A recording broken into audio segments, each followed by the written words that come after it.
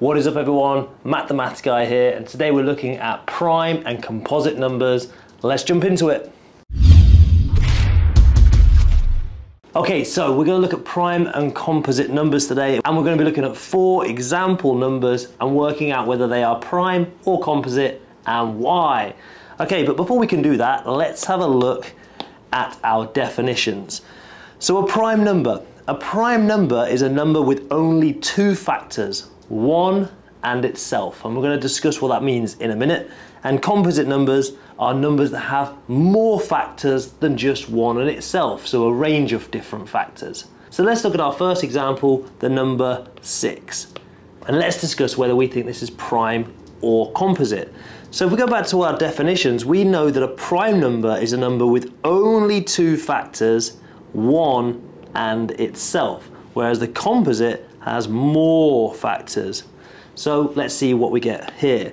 So we need to start with what is a factor. A factor is an integer, which means whole number, times by another integer equals the number that we're looking at, which in this case is 6. So basically, two numbers that multiply together to equal the number 6. So the first one we can always start with is 1 and 6. And at this point, if this is the only set of factors that we can get, then this 6 would be a prime number. But let's see if we have any more factors.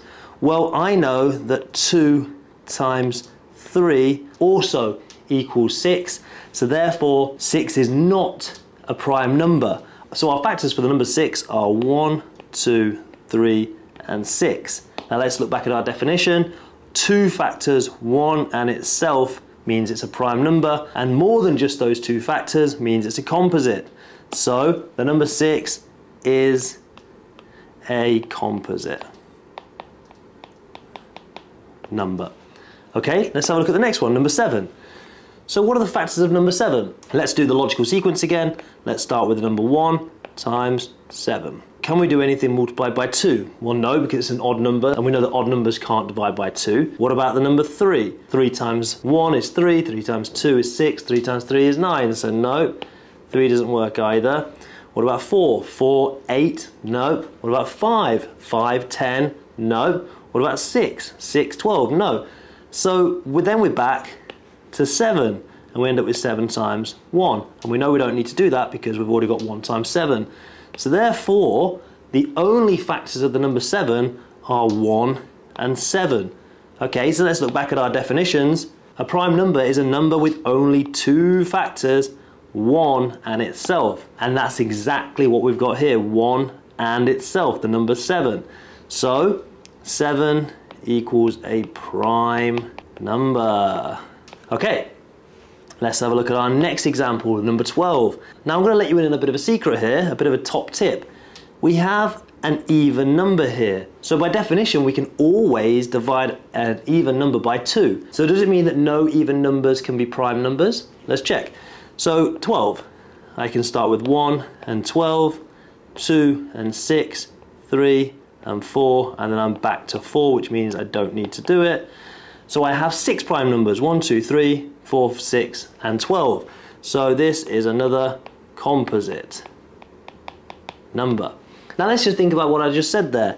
I just said all even numbers can't be prime because we can always multiply them by 2. But what about this number, the number 2? The number 2 can only be multiplied by 1 and 2. So therefore 2 is a prime number. And here's an interesting fact. 2 is the only even prime number. So that's something to remember. Okay, and let's look at question number 4, 19. So we know it's odd, so there's a chance that it can be a prime number. Let's see. So I can do 1 times 19. And now let's quickly go up our other multiplications.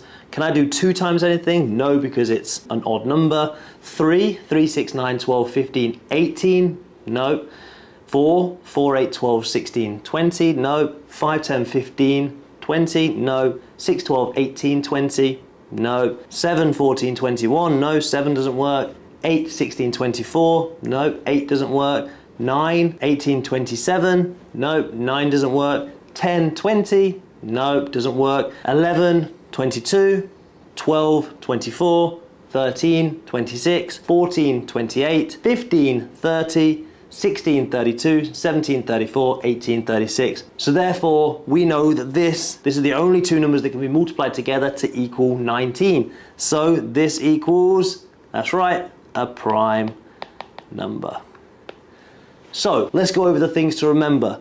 A prime number is a number with only two factors, number one and the number itself. Most prime numbers are odd, except the number two. That's right, well done.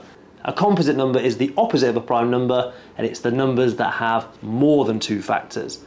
Let's have a look at these two questions.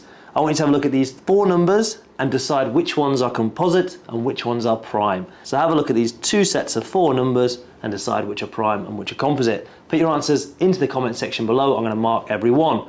Okay, I hope this video was helpful to you. If it was, think about subscribing. Check out our website, www.themathsguy.com, and I'm going to see you in another video. Peace out.